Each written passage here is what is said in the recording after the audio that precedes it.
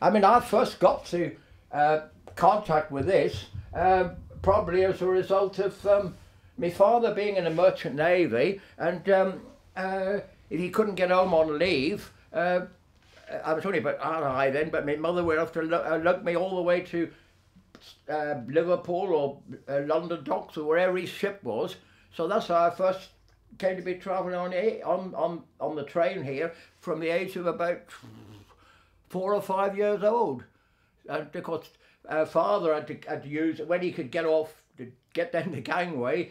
Uh, he'd managed to get a couple of days, and he'd come into uh, he'd come in on that side, stay a couple of days, and then of course he had to go back again and rejoin his ship. So that's how I came to have a very early contact with the railway, and of course it, it, it lasted then um, right through the uh, time when I was in the army, when it was very valuable to be able to get home from well being a Devonian, my luck was I never got stationed nearer than uh, uh, Aldershot in Hampshire. That's the nearest I ever got stationed to this part of the country. I mean, the place was full up during war with people from from uh, Geordies and Brummies and all that sort of thing.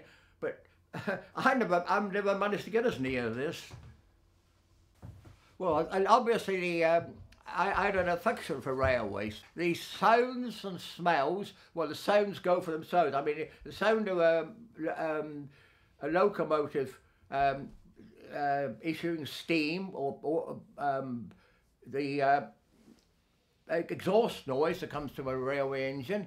Um, I remember that and I liked it. Um, also, um, the smell. You've got a very, with a, with a steam engine, and also to a certain extent with the roll with the carriages, you've got a sort of a um, a slightly oily, um, warmish smell.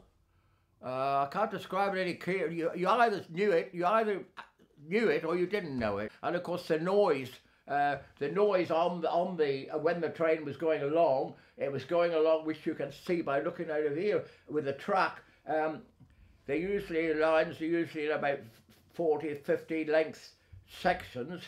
Uh, they've expanded it now to 60 and 70, but where they where the two join, they, they don't actually butt right onto each other. They're, they're a couple of fraction of, um, of an inch away to allow for expansion and contraction, and that royal rail joint produces a clickety click as the as the uh, as a boat as a carriage goes over it with its with its two sets of bogie wheels. You get a, a click click and, and then a couple of half a second later, when the next sort of bogies goes out, you get another click click. So that's that's the sounds I remember. You don't get them so much nowadays because they they most of the railways now are, are very long welded ones. They've got over the problem apparently of uh, expansion and contraction, and the um um uh.